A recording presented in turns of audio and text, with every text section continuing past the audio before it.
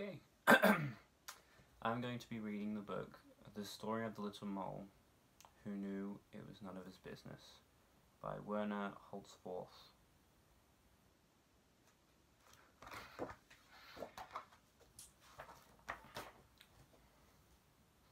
So, one day, the little mole poked his head out from underground to see whether the sun had already risen. Then, it happened. It looked like a little sausage, and the worst thing was that it landed right on his head. How mean, cried the little mole. Who has done this on my head? But he was so short-sighted that he couldn't see anyone around. Did you do this on my head? he asked the dove, who was flying past. Me? No, how could I? I do it like this, she answered. And splish splish, a moist white blob landed on the ground right next to the little mole. His right leg was splashed with white. Did you do this on my head? he asked the horse, who was grazing in the pasture. Me? No, how could I? I do it like this. And flump pump, five big fat horsey apples plopped down with a hairy breath of the mole. He was very impressed.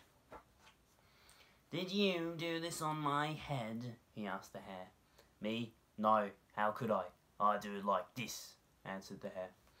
And rat-a-tat-tat, fifteen little round beans shot past the mole's ears. He saved himself with a daring leap. Did you do this on my head? he asked the goat, who had been daydreaming a little. Me? No. How could I? I do it like this, she replied. And plippity-plop, a pile of toffee-coloured little balls tumbled on the grass. The little mole found them almost appealing. Did you do this on my head? he asked the cow, who was chewing the cud. Me? No. How could I? I do it like this. And Kaplosh, a big brownish green pancake, flopped into the grass just next to the mole. He was very relieved that it hadn't been the cow who had done something on his head. Did you do this on my head? he asked the pig. Me?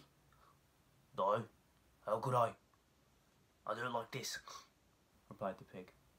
And plop splat, a little black, a little soft brown pile fell on the grass. The mole held his nose.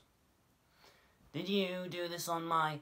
He was going to ask again, but as he came closer, he saw only two big black flies, and they were eating. At last, someone who will be able to help me, thought the mole. Who did this on my head? he asked excitingly. Zip nice and still, buzzed the flies. There was a short pause, and then, It is clear to us that it was a dog. Finally, the mole knew who had done his business on the head on his head. Basil, the butcher's dog. Quick as a flash, he climbed on the ba the ba he climbed onto Basil's kennel, and pling, a tiny black sausage landed right on top of the dog's head. Satisfied at last, the little mole disappeared happily into his underground hole. The end. Actually, so just a thought on that. Um, I feel just after reading a um, children's book, I feel immediately that um,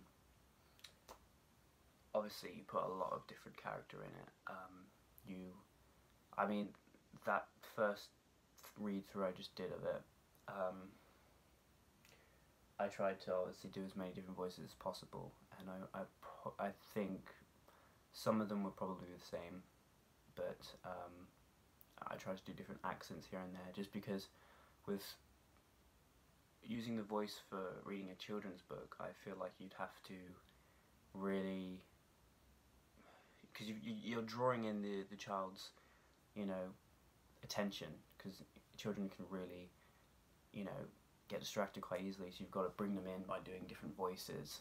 But um, as I go on to read um, an adult's book now, um, we will see what the differences are.